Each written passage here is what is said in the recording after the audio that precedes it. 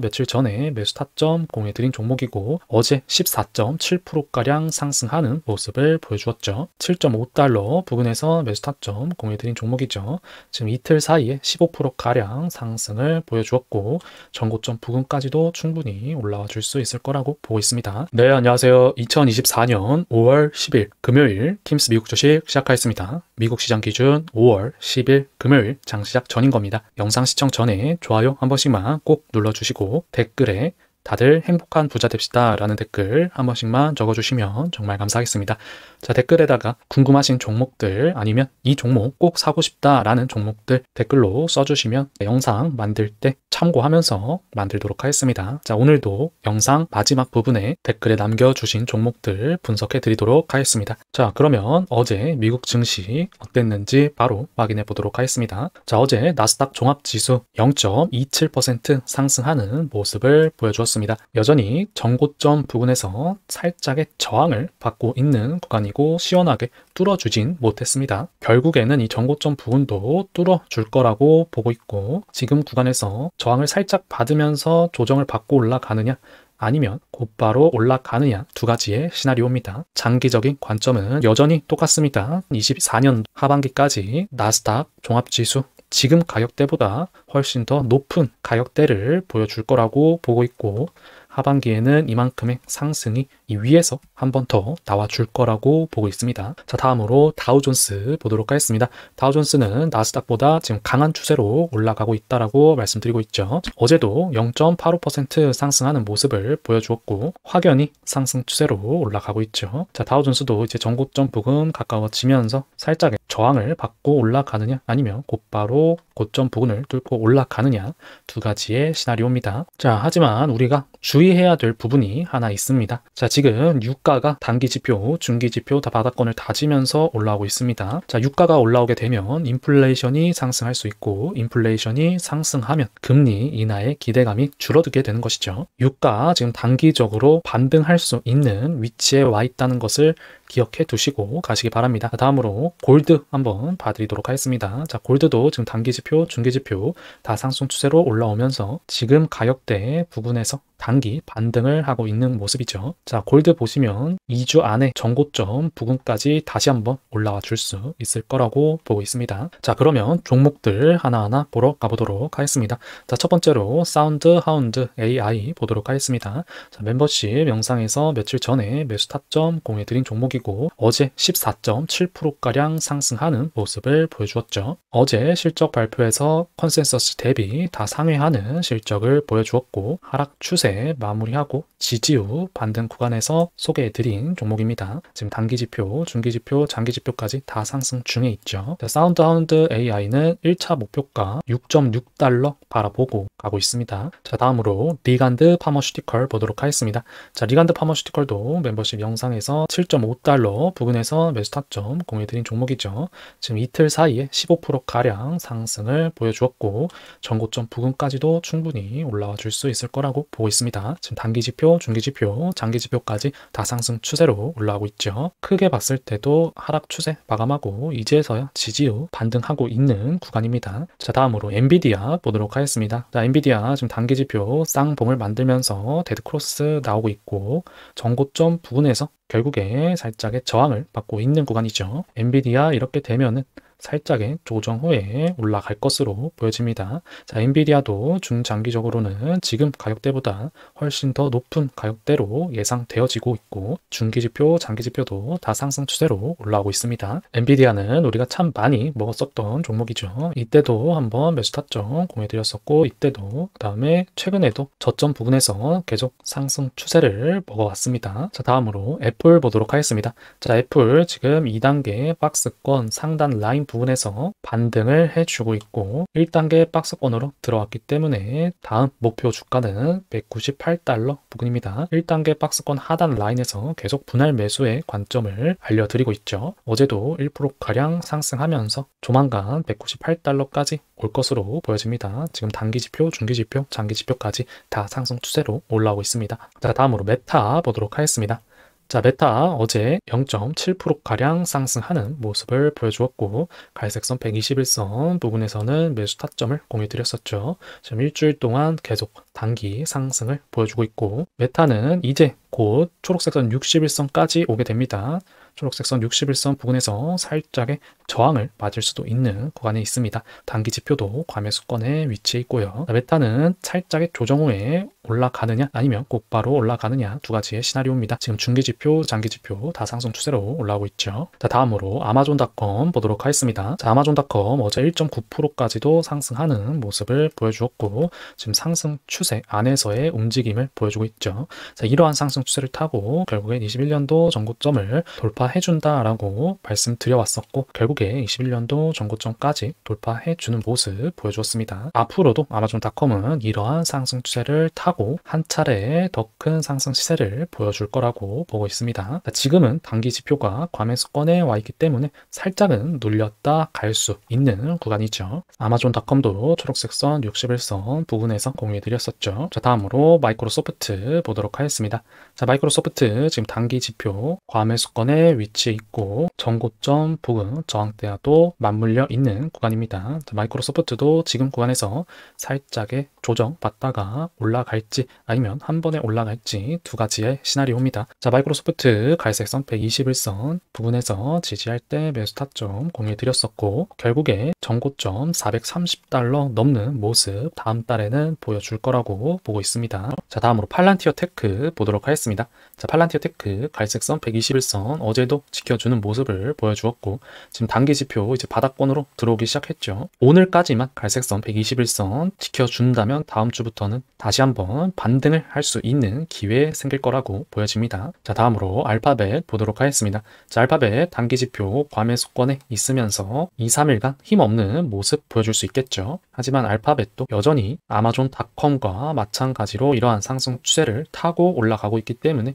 지금 구간에서 살짝 조정을 준다 하더라도 곧바로 치고 올라갈 수 있는 구간입니다. 알파벳도 자 빨간색 선 241선 있는 부분에서 많이 강조해 드렸던 종목이죠. 자 다음으로 코인 관련주들 한번 보도록 하겠습니다. 자 첫 번째로 코인베이스 글로벌 보도록 하겠습니다. 코인베이스 글로벌 지금 매수가 가능한 시점이고 손절 라인 197달러만 지켜준다면 충분히 들어갈 수 있는 구간입니다. 자, 1차 목표가는 250달러 바라보고 있습니다. 자, 다음으로 마이크로 스트레티지 보도록 하겠습니다. 마이크로 스트레티지도 저번부터 매수 타점이라고 언급해 드리고 있죠. 손절 라인 1000달러 부근만 잘 지켜준다면 지금도 하나의 매수 타점 될 수 있는 겁니다.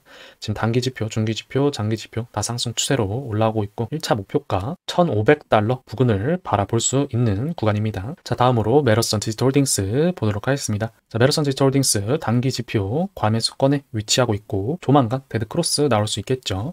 그러면 살짝 조정 후에 다시 올라갈 것으로 보고 있습니다. 중기 지표, 장기 지표 다 상승 추세로 올라오고 있죠. 메러선 디지털 홀딩스는 내려오면은 충분히 매수를 할 수 있는 구간이고 매수할 수 있는 가격대는 18달러 부분을 보고 있습니다. 손절 라인은 16달러 보면 되겠죠. 자 다음으로 테슬라 보도록 하겠습니다. 자 테슬라 어제 노란색 선 21선 지켜주었고 저번 달부터 이어져 오고 있는 상승 추세 딱 절반 부근에서 지지를 해주고 있죠. 오늘도 노란색 선 21선 지지해 준다면 단기 지표 바닥권으로 들어가게 되고 다음 주부터는 N자형 상승 파동으로 올라갈 수 있는 기회를 오늘부터 만들 거라고 보고 있습니다. 오늘 상승하는 양봉 나올 시에는 분할 매수 타점 충분히 될 수 있는 구간이죠. 테슬라 1차 목표가 200달러를 바라보고 있는 구간입니다. 자, 테슬라 큰 그림으로도 한번 봐드리도록 하겠습니다. 테슬라의 주봉 차트입니다. 자, 주봉에서 지금 쌍바닥 패턴 만들어 주면서 이미 방향은 돌려 놓았습니다. 단기 지표 상승 추세, 중기 지표 상승 추세, 다음 주부터 장기 지표까지 골든 크로스 나올 수 있는 구간이죠. 자, 다음으로 어제 말씀드렸던 다우 보도록 하겠습니다. 티커 심볼 DOW입니다. 자, 다우 어제 1.6%가량 상승하는 모습을 보여주었고 실적도 굉장히 잘 나온 종목이죠. 이러한 상승 추세를 타고 올라가고 있고 상승 추세 상단 라인 부근 62달러 부근까지 단기적으로 충분히 상승할 수 있죠. 지금 단기 지표, 중기 지표, 장기 지표까지 다 상승 추세로 올라오고 있습니다. 오늘도 하나의 분할 매수 타점이 될 수 있겠습니다. 자, 다음으로 컨플루언트 보도록 하겠습니다. 티커 심볼 CFLT입니다. 자, 컨플루언트는 어제 0.8%가량 하락해주는 모습을 보여주었습니다. 하지만 지금 N자형 상승 파동으로 방향성 돌려놓았기 때문에 손절 라인 짧게 보고 들어간다면 한 30달러 손절 라인으로 잡고 지금도 충분히 들어갈 수 있는 부분이죠. 2차 손절 라인은 27달러 바라보고 있습니다. 자, 다음으로 AMD 보도록 하겠습니다. 자, AMD 지금 구간은 하나의 매수를 할 수 있는 구간입니다. 가격대로 봤을 때 140달러에서 150달러 사이에서 바닥 구간을 다질 것으로 보여지고 지금 저번 주부터 해가지고 바닥 구간을 다지고 있는 중이죠. 이럴 때 매수하셔야 6월 달부터 수익을 낼 수 있는 겁니다. 단기 지표, 중기 지표, 장기 지표 다 상승 추세로 올라오고 있습니다. 자 다음으로 인텔 보도록 하겠습니다. 자 인텔도 지금 30달러 부근에서 계속 바닥 구간을 다지고 있는 중이죠. 단기 지표, 중기 지표, 장기 지표까지 다 상승 중에 있고 인텔도 다음 주부터는 충분히 상승하는 파동 보여줄 거라고 보고 있습니다. 자, 다음으로 퀄컴 보도록 하겠습니다. 자, 퀄컴도 보시면 지금 상승 추세 계속 타고 올라가고 있는 중이죠. 물론 이러한 상승 추세를 타고 올라갈 때 이렇게 짧게 보면은 살짝 살짝의 조정은 있습니다. 모든 주식이 일자로 상승하는 것이 아니라 N자형 상승 파동을 만들면서 올라가는 것이죠. 자, 퀄컴 지금 구간에서 살짝 또다시 힘없는 모습 보여주다가 결국에 21년도 전고점 193달러까지 올 것으로 보여집니다. 지금 단기 지표는 과매수권에서 데드 크로스가 났고 중기, 장기 지표 다 상승 추세로 올라오고 있죠. 자 다음으로 TSMC 보도록 하겠습니다. 자 TSMC도 이러한 상승 추세로 올라오고 있고 결국에 이러한 상승 추세로 21년도 전고점을 뚫는 모습을 보여주었죠. 지금 상승 추세 하단 라인에 주가가 위치하고 있고 자, 하단 라인에서 또다시 매수 타점 공유드렸습니다. 자, 지금은 단기 지표가 과매수권에 있기 때문에 살짝 힘없는 모습을 보여주고 있지만 다음 주 후반부터는 단기 지표 바닥 구간 다지면서 충분히 올라올 수 있는 구간대입니다. 장기 지표가 쌍바닥 패턴 만들고 있죠. 자 다음으로 마벨 테크놀로지 보도록 하겠습니다. 자 마벨 테크놀로지도 이러한 상승 추세를 타고 올라가고 있고 지금 상승 추세 하단 라인에 위치하고 있습니다.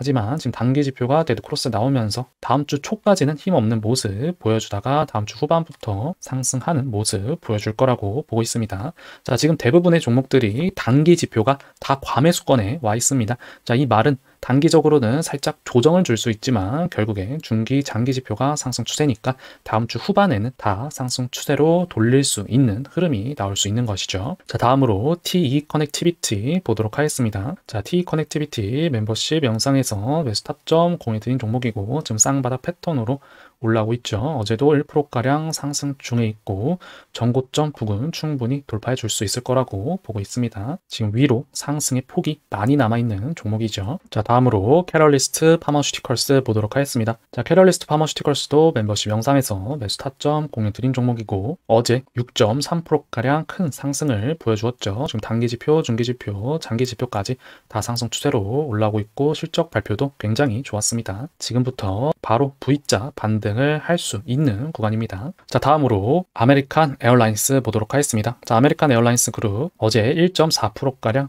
상승을 만들어 주었었고 지금 계속적으로 저점을 높이고 있는 구간이죠. 중기지표, 장기지표 다 상승 추세로 올라오고 있고 삼각 수렴을 만들면서 결국에 상단 라인 뚫어주면서 상승할 것으로 보여집니다. 자 다음으로 질문 많이 주셨던 종목들 한번 보도록 하겠습니다.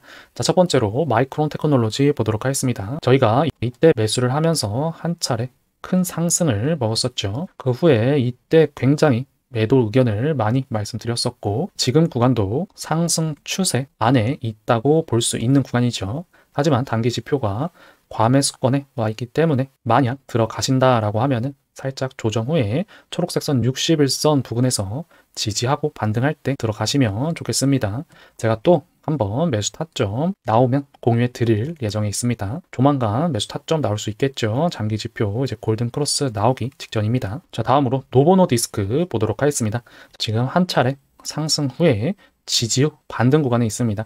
지금 단기 지표 골든 크로스 나오면서 올라가 주고 있고 중기 지표도 지금 골든 크로스 나오기 직전이죠. 장기 지표는 계속적인 우상향을 보여주고 있습니다. 자, 노보 노디스크 실적도 굉장히 좋게 나왔고 지금 구간에서 들어가고 싶으신 분들은 손절 라인 123달러 잡고 들어갈 수 있고 목표가는 138달러 잡으시면 되겠죠. 자, 다음으로 넷플릭스 보도록 하겠습니다. 자, 넷플릭스 크게 봤을 때 여전히 상승 추세입니다. 이 상승 추세 안에서 상단 라인을 맞고 살짝의 조정 후에 갈색선 120일선에서 지지를 하면서 반등 구간에 있습니다. 하지만 지금 전고점 부근에 매물대가 많기 때문에 지금 구간 살짝 저항을 받고 있는 구간이죠. 단기 지표도 과매수권에 와 있으면서 단기 조정이 또다시 나올 수 있습니다. 단기 조정 줬다가 쌍바닥 패턴으로 이 전고점 부근 뚫고 올라갈 수 있는 것이죠. 넷플릭스도 매수 타점 나오면 공유해 드리도록 하겠습니다. 자 다음으로 메인 스트리트 캐피털 보도록 하겠습니다. 자 메인 스트리트 주봉 차트입니다. 지금 N자형 상승 파동으로 올라가고 있고 여전히 장기적으로 봤을 때는 상승폭 많이 남아 있습니다. 하지만 단기적으로 봤을 때 지금 단기 지표 데드크로스 났기 때문에 살짝 눌렸다가 올라갈 수 있겠죠. 메인 스트리트 가지고 계신 분들은 지금 핑크색 선 5일선 가격대로 봤을 때 50달러 깨지면 조금이라도 수익 실현하시면서 노란색 선 21선 부분에서 지지하고 다시 반등할 때 잡으시면 되겠습니다. 자 다음으로 스타벅스 보도록 하겠습니다. 스타벅스 어제도 봐드린 종목인데 댓글에 많이 써주셔가지고 한 번 더 가져와 봤습니다.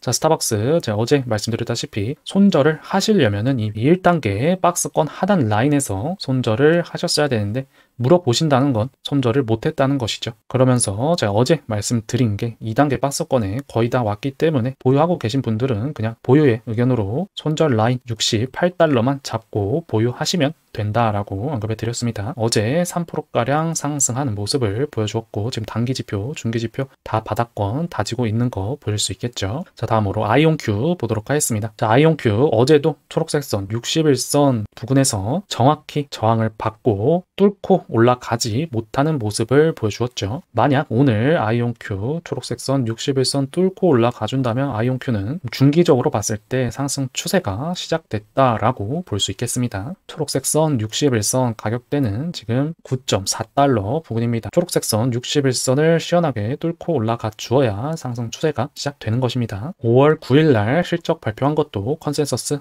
다 상회하면서 나쁘지 않은 흐름을 보여줄 거라고 보고 있습니다. 자, 오늘은 여기까지 하도록 하겠습니다. 댓글에 거래대금 순으로 한번 보여주시라는 요청이 있어서 지금 이렇게 순서가 거래대금 순입니다. 저는 거래대금 순으로 포트폴리오의 비중을 맞춰가고 있습니다. 자, 이어지는 2부 영상에서는 SOXL, TQQQ, S&P 500, LABU, 월트 디즈니, 모더나, 화이자, 슈퍼마이크로 컴퓨터 등 보도록 하겠습니다.